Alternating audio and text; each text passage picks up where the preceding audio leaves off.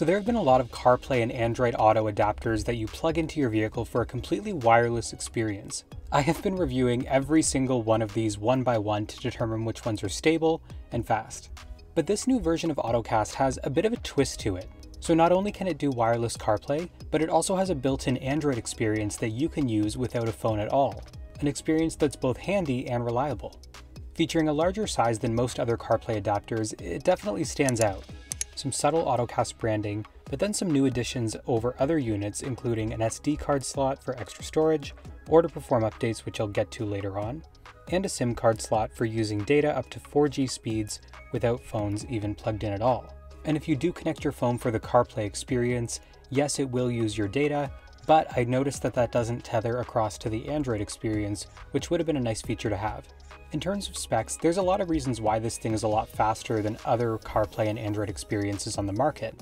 Coming packed with a Qualcomm Snapdragon 450 octa-core processor, 4GB of RAM, 64 gigs of storage, and built-in GPS, it also supports Bluetooth 5.0, Wi-Fi in both 2.4 and 5 GHz networks, and cellular up to 4G. By the way, I am going to be splitting this review into two parts one for the Android experience and one for the CarPlay experience. So if you want to use the chapters below to navigate to each of those, you can do so now. So starting with that Android experience, boot up of this device on average takes about 20 to 30 seconds, and that's testing running on both the 2019 Toyota RAV4 that I'm in right now and the 2018 Volkswagen Tiguan. Remember your car does have to have existing wired CarPlay, so if you're using something older that doesn't already have it, this device isn't going to work for you. That being said, Results with this box should be relatively consistent if your vehicle does have built-in CarPlay.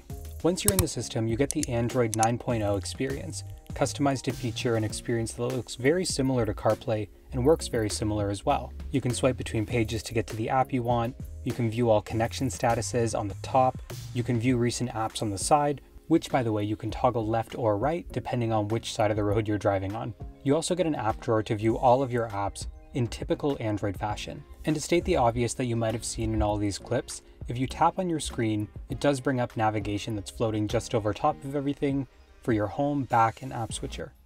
And having it always on top, I've got to say, kind of a weird experience, but I understand why they did it. Still, would have liked to see something like a home button built into the left or right side, or just like swiping up from the bottom or something using gestures instead of having this floating on top. In terms of apps, you have your Now Playing widget, all the pre-installed apps like Google Maps, Spotify, but because it's an Android box, you also get the breadth of the Play Store within this box. And you can add pretty much anything, including Netflix, which comes pre-installed. Now disclaimer, I'm not really sure what the laws are around watching a video on that display while you're driving.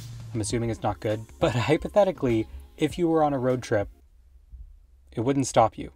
And on that note, if you install something from the App Store, it seems to be taking on the landscape mode that a lot of tablets are suited to, which actually fits really surprisingly well. You can see in this shot here I'm playing Temple Run, and it does fit in very nicely with the display. But that being said, if you did try to install something like Instagram for example, which only comes in portrait mode, it can do it, but it'll look like this.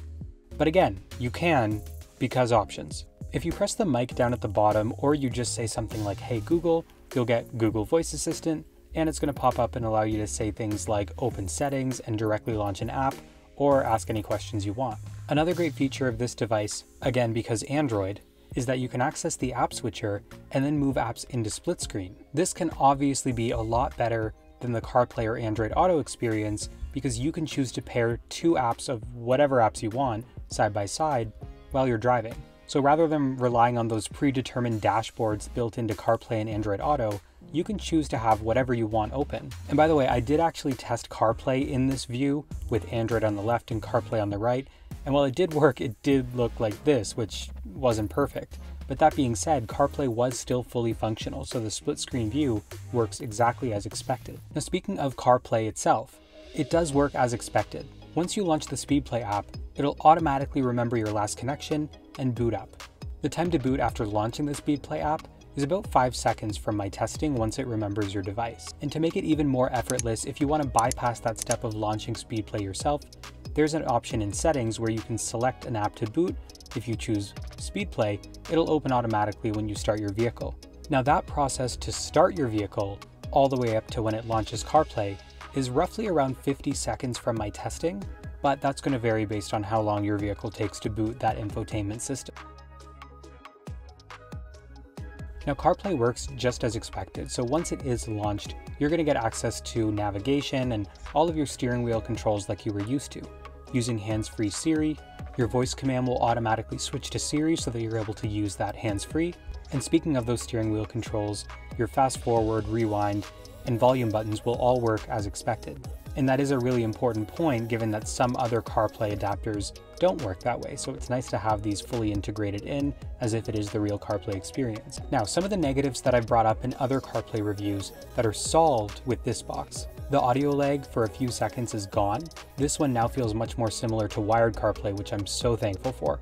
The audio skipping when playing music is happening much less often than it was on other devices. It still happens, but maybe once or twice a week, not nearly as consistent as the other devices were. Call clarity seems very reliable and clear, so I am able to make phone calls without it sounding too distorted or with the other person having trouble hearing me. And overall, this device is very responsive when navigating. The one downside that I don't love, and I've already sort of touched on this today, is that that navigation of the home, back, and app switcher are always consistent, even when you're in the CarPlay app. I'd love for this to live somewhere else on the display, maybe to the left, the right, or the bottom, or like I said, simply using gestures to swipe to go home. But I also think it can just be disabled completely when you're in the CarPlay experience, given that if you go to your CarPlay home screen, you can hit car and go back to that Android experience anyway. So I don't see a use for it popping up all the time like it does. It's definitely not a deal breaker, but it is something that was sort of annoying and something I had to get used to over time. Now looking at the SpeedPlay app settings, there's a couple things that you can customize here. And that's going to include your mic gain, your auto connect, whether you want it to connect to your phone immediately on boot, and updating the look of that home button that brings you back to the Android experience from the CarPlay screen. Overall, the whole experience is actually surprisingly great. I really didn't expect to like this one, and including both CarPlay and Android within one box is great because it gives you this convenience of choice. Say you forget your phone or you just don't want to plug in CarPlay or you're going on a short trip and you want to be able to use that Android experience, it's nice to have the option.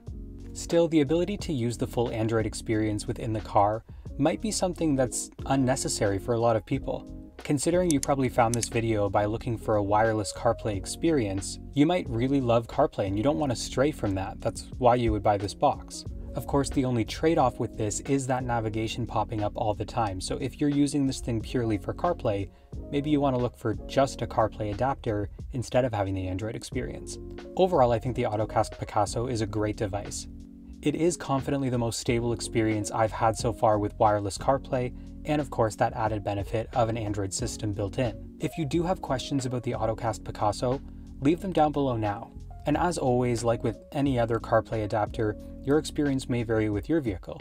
So if you pick up the Ottocast Picasou, let me know which car you're testing it out on and what your experience has been. That way it'll help other people who are thinking of buying as well. Like I said before, I'm testing this thing on the 2019 Toyota RAV4 and the 2018 Volkswagen Tiguan. Let me know which car you're using down below now. As always, thank you guys so much for watching and supporting the channel, and I'll see you in the next one.